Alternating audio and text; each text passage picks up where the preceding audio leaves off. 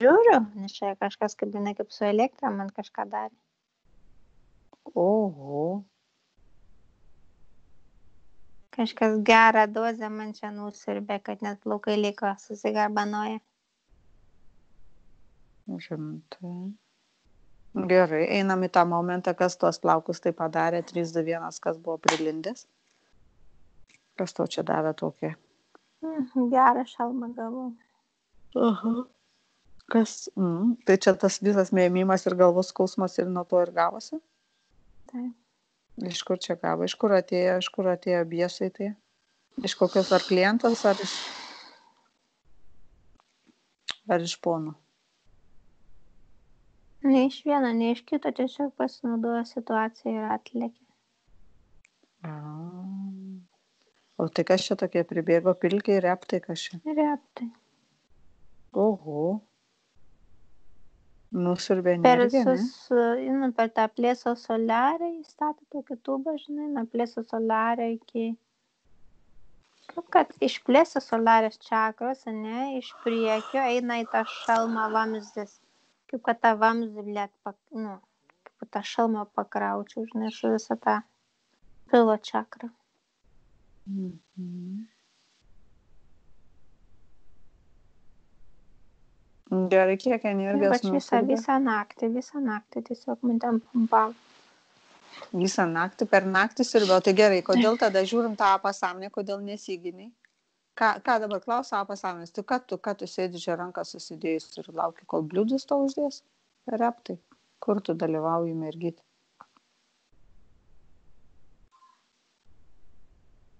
Ką tu čia jau? Budrumą paleidai? Mm, taip.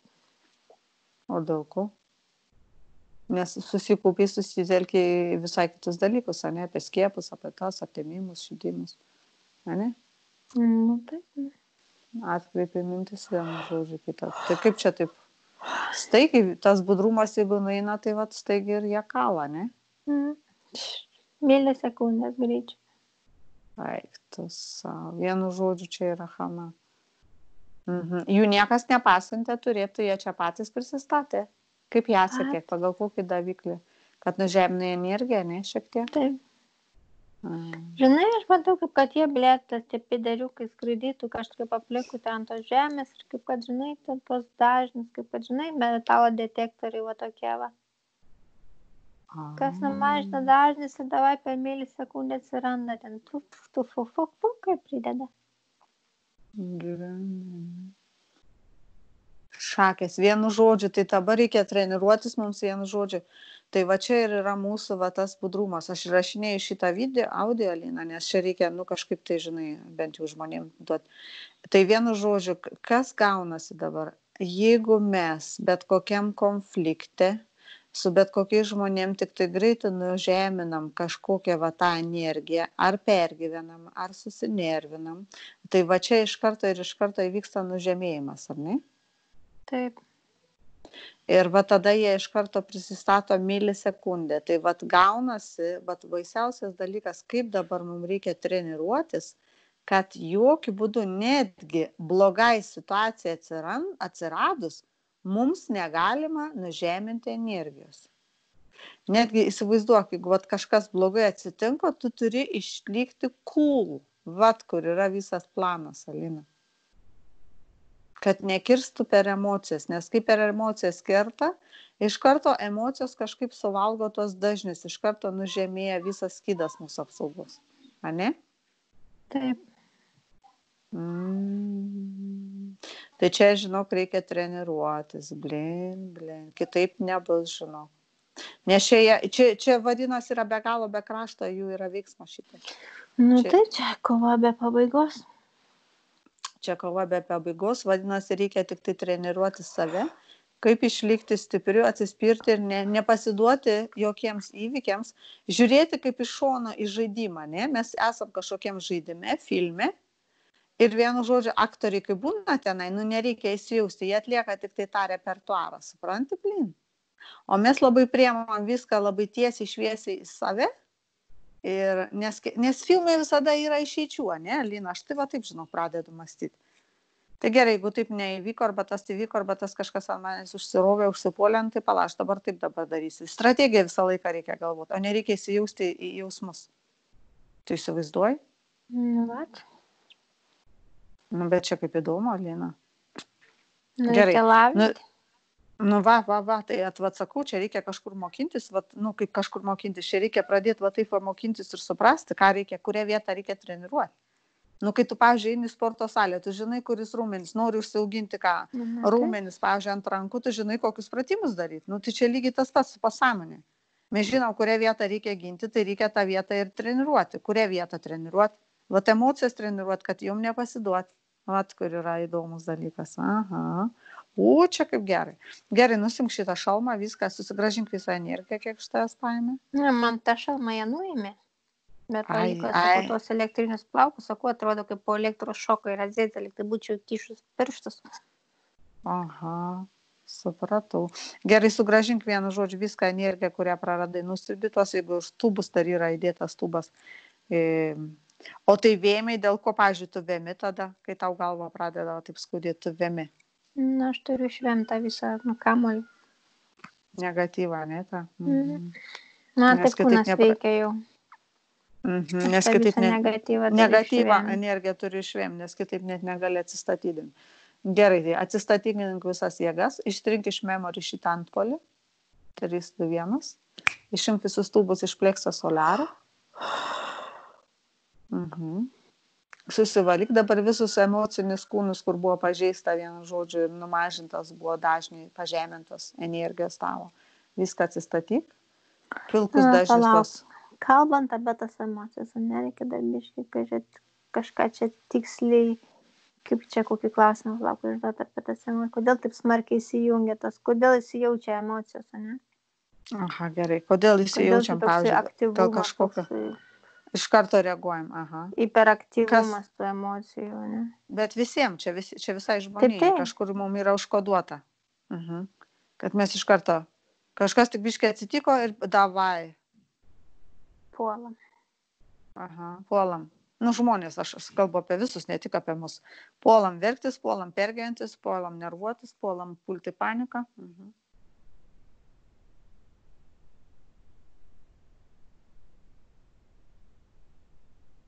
Dabar matau, kaip, men- matau, kad mentalinis kūnas turėtų dar dvi šakas, ne? Gerai. Tas emocinis, intelektualinis irgi, žinai, yra prie. Ok. Ok.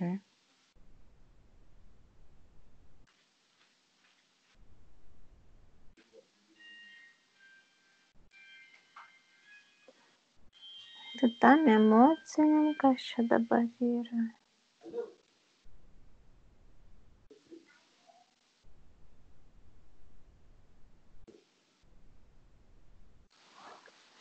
Aš tą emocinį kūną, mentalinio emocinį kūną matau kaip, kad, žinai, toksai su skilutėm, toks kaip yra žaidimas, ne, tokia lentelė su skilutėm ir meti tokį, žinai, kaip ir ne kamoliuką, bet tokie kaip šaškė, ne. Ir ten kur paklius, ten paklius, ten ta šaškė. Taip, žinai. taip, taip, žinau, žinau tą žaidimą. Va šitaip Mhm. atrodo tas emocinis iš mentalinio kūno. Emocinis A, tai palauk, dabar žiūrėk, kažkaip surišta su tuo mentalu. Taip. Kai mentalas įsižiebia- intelek, Mhm. intelektinį tą kūną, žinai, ir emocinį. Mhm. Tai va, va, va, va, va. Tai dabar žiūrėk, mentalas, kas čia po langais atsistos reikalai. Mentalas, kai įsižiebė, ane, kažkoks įvyksta įvykis, va. Įvyko įvykis, konfrontacija su kažkuo, ar ne, ir tada įsižiebė. Vienu žodžiu. Ir tada pradeda kirsti per emocinį kūną. Ir tada tas intelektinis, kaip kad išjungtas, žinai. Va, gal gal, Mhm. kartu, ta prasme, nesinchronizuoti, kaip pat nesimbiozijai. Kad, nu, Mhm. blaiviai, ne, neblaiviai nemastom. Nebemastom, kažkaip net užgožia, net tos emocijos užgožia ir kažkaip, o paskui, vat, kai sako, nuleis garą ir tada tik tai pradėk mąstyti iš tikrųjų apie savo situaciją. Reikia atsitraukti atgal vieną žingsnį ir šaltų kraujų pamastyti, o ne, o ne kai išsiplėskęs tas visas, žinai, emocinis būna išsiplėskęs. Aha. Tai šitą, vat, šitą manipulaciją mentalo su emociniu kūnu. Kas čia mums šitą manipulaciją nuo pat pradžios, kaip sukūrė, nu, va, čia kaip žmonija sukurta, kodėl mes taip va, emocijas. Nes, pavyzdžiui, pažiūrėkit tuos e, reptus, pažiūrėkit tuos pilkius, visus drakošus, jie net iš viso jokių emocijų nieko neturi. Jie tik planą. Jeigu, pavyzdžiui, paimu tave, ne irgi, bus tave irgi tas pats. Paimu Mhm. bet, kokį, bet kokį žmogų. tai Aušrą jis paimk, va čia pats. Mhm. Ir tas intelektinis kūnas, tas kaip kad jis yra, bet netaip smarkiai Nes faktiškai intelektas turėtų įsijungti, supranti? Taip, Intelektas turėtų įsijungti ir galvoti, aha, planas A, planas B, planas C, planas T. Supranti, iš, iš tos dabar situacijos kaip išeita, ne, pavyzdžiui, kalė tau per kažką tai. Ir, ir iš karto tu tada į paniką puoli. Ta panika puola, iš karto tada tamsta protas ir nebesugebė atrasti, supranti, išėjimo. Vat kur yra problema. Čia mes nagrinėjom bendros žmonijos, jau čia viskas, kas yra susiję. nes tos dvi šakos atrodo kaip ta tokia rezonansinė šakutė, žinai. Aha, supratau. Mhm. Ten, kurie intelektualinis, ten matau kaip kad skėda kokia, žinai, kaip kad, nu, kaip kad kompo skėda tokia smegenis, tipo, Okay. ne, ten su smegenimis Mhm. mhm. ryšta. O šitos emocijos, tas kaip tas žaidimas, sušaudytas ir tas, žinai, mygtukas ir kaip pas, ten kaip paspausti, ten ir užviras iki pat viršaus. Mhm. O kai tas užveda, tas intelektualinis net iš vis net nedirba. Va, matai, kaip yra. Mm. Tai šitą dabar sistemą mums reikia išardyti, Alina, Jeigu nes šita yra sistema. kad vienas feikinė. tiesiog būtų vienas Mhm. viename, kodėl turi būti kažkaip du. Mhm.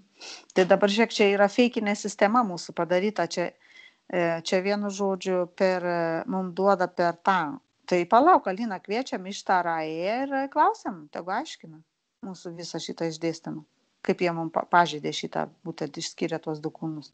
Kodėl tai padarė? Pakviesk iš tą rają. Mhm. Gerai. Gerai, susijungtų jie iš karto čianelinam ir aš klausimus uždavinėsiu. 3, 2, 1. Ištarai. Labas ištarai. Labas. Dabar taip mums dilema iš, išlindo, nes norim suprasti šitą struktūrą žmogaus. E, kadangi, kai įvyksta kažkokia trauma, mums labai smarkiai kerta per emocinį kūną. Ir kodėl va šitie kūnai emocinis su mentaliniu intelektiniu yra atskirti? Kas juos mums atskyrė? Jūs esate taip sukurti. Kiekvienas kūnas turi savo veiklą ir kitus sluoksnius, Mhm. bet jūsų būtybės yra labai emocingos. Viskas Mhm. eina per emocijas. Bet mums labai neįnauda. Nes būtent va šitie e, astraliniai parasitai, interferentai tuom ir naudojasi. Čia yra pats mūsų silpniausia vieta, vadinasi, per čia ir kerta. Taip, Tai kaip mums dabar padaryti, kad nebūtų toks didelis kontrastas, ką reikia daryti? Kaip išmokti būti šaltesniais? matau, galima sunormalizuoti Mhm. balansą tarp intelektinio ir emocinio kūno. Mm, Kad nebūtų tokia didelė persvara į emocinį kūną, ar ne? Taip. Mm. Čia visiems taip užprogramuota žmonijai, čiagi yra programa kažkokia, tai aš manau. Užprogramuota program, žmoniai, kad būtent žmonė vat, per tą ir kirstų, ar ne? Nes jeigu būtumėm šiek tiek e, intelektualiskesni, kaip jūs, pažiūrėkit, jūs būtybės esat intelekto, o tu turi emocijas? Neturiu. Va, o kodėl jūs neturite emocijų? Todėl, kad mes taip sukurti. A. Tai vadinasi, jūs naudojate tik intelektą, ar ne? Taip. Tai pas jūs tenai galaktikoje, universe iš viso jokių emocijų nėra. Nėra.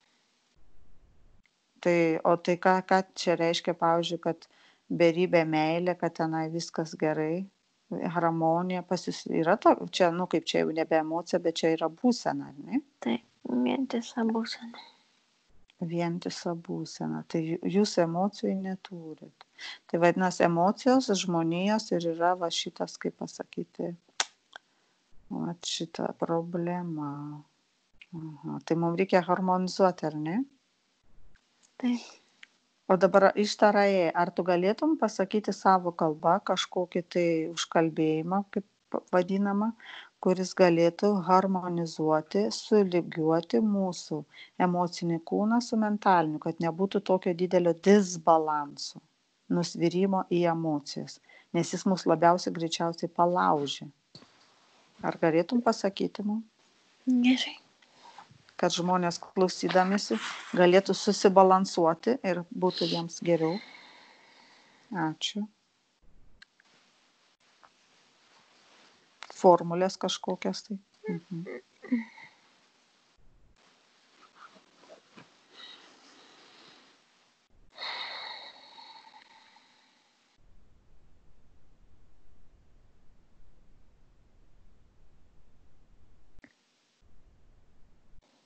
いしたらてれてて。いたかわらたて。いてれててしてれて。あたらしたてれてて。いきれしてて。あたしゃわりしして。あたわりたわりたわりして。Ishataratete Itakavaratete Iteretete Shiterete Atarashatateretete Ikireshitete Atashavarishishite Atavaritavaritavarishite Ishatakarate. Atashatavaresishite. Akavari kavari shititeke. Etere shiteke.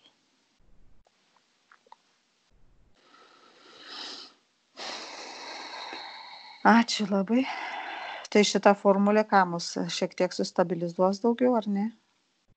Taip. Harmonizuos jūsų mentalinį kūną ir emocijas su intelektualiniu. Mm. Mhm. Gerai, labai ačiū. O sakyk, dabar noriu dar paklausti, tas universo virusas, ar jisai yra universo virusas ir žmonijoje, ant kiek jau yra paplitęs, kaip mums su tuo virusu? Ar yra galimybė kažkokia sutvarkyti tą virusą, kad nu, mažiau žmonės veiktų šitie interferentai? Tą virusą biški paslopinti. Ar yra įmanoma, kad tu kažkokią formulę turėtum? Bent jau besiklausant, kad kažką slėptų tą. Vadinamas žemės virusas, jis yra dirbtinis, labiau jis veikia pasąmonę mentalinį kūną, negu egzistuoja iš tikrųjų. Jis dirbtinis, tai dirbtinis kieno padarytas jisai parazitų? Taip. Mm, tai kaip mes galim hipnozį kažkaip jį de dezaktyvuoti, ar ne? Nes šiaip tai deaktyvuoti Taip. tas virusą. O kur yra, kur yra tas virusas įtaisytas, tas dirbtinis? Kaip jie iškart mums prikalė prie mūsų eterinių kūnų ir mentalinių, ar, ar jis kažkur tai yra užregistruotas kokiam kompiuteriui sistemos? Mentaliniam kūnui.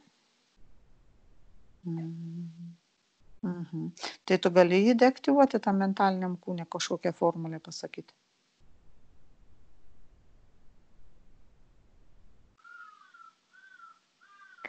Aš padarysiu simbolį ir iš perleisiu jum. Gerai. Kur galėsit ir, išdalinti. Ir su tuo simboliu mes galėsim, aha, kopikolį, aha, nukopijuoti ir kiekvienam žmogui valant hipnozę įdėti tą simbolį. Gerai, ačiū labai, laukiam simbolių.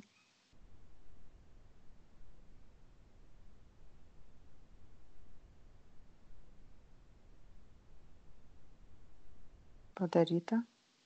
Taip. Gerai, ačiū labai.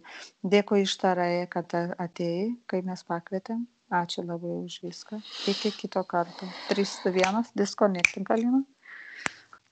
Alinukas. Mhm. Mat, matei tą simbolį, ar ne? Mačiau. Dabar tas simbolis, vienu žodžiu, jisai turi būti pas tave užfiktuotas pasąmonė ir kiekvieną kartą, kai kai klientą matom ir su tuo virusu, tada iš karto tą simbolį prilipdai jam, kaip integruoji, žinai. Taip, daviau ir tau. Gerai. Puiku. Mano galvykė tik pasižiūrėk ir tada eisime hipnozę. Ko man tenai jinai bangavo. Siubuoja. Reptilodis masažuoja tos smegenys. Sakykai, aš nesutinku su tavo masažu, dabar eisiu kitą masažistą pasieškoti. Tai ką iš čia, ką iš čia, nu, nu vakar dienos čia man masažuoja smegenis. Taip, Mm, dėl kokios priežasties iš čia prie irgi, dėl tos pačios tą situacijos, kad čia, a ne? ir Pamastėm. taip, ir ne. Mm. Tai kas dar čia įsikišo iš klientų kokį reptiloidą atėjo? Ne, iš, iš, iš Mhm. biznio reikalų. A, tai gerai, tai tada biznio reikalus dabar masažytą šitą atleidžiam nuo pareigų.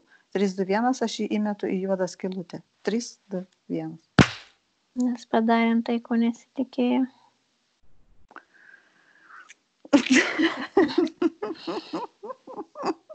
Nu, mes labai blogas. Tai iš tai masažuoja tos smegenys. Nu, tai žinau, gerai labai. Liuks dabar viskas, pilnas akis atsidarė. Sustabdau šitą įrašą, labai geras įrašas, šitą emocinį kūną, kaip sutvarkyti. Ištarai, reikia klausyti žmonėms šitą įrašą, bet ten labai gražiai dainuot pradėjai. Gerai, čia formulė. Sustabdau.